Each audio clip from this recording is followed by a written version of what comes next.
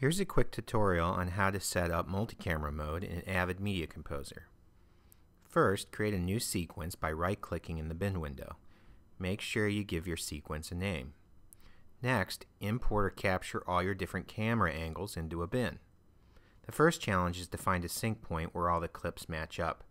In my example, I've already synced everything together, so the next step is to group the clips.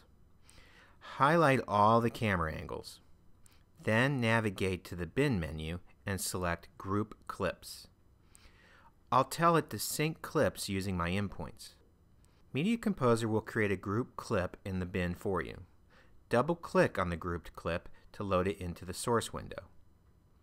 Next, press the red Overwrite button to edit the entire grouped clip to the timeline.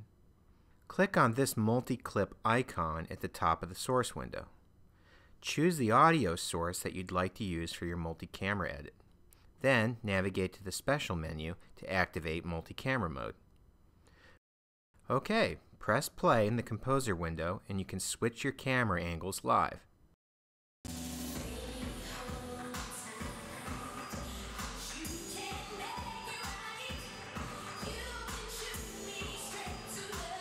After you stop playing, you'll be able to see all your edits in the timeline. For other great tips like this or to enroll in a certified Avid Media Composer training course, visit geniusdv.com.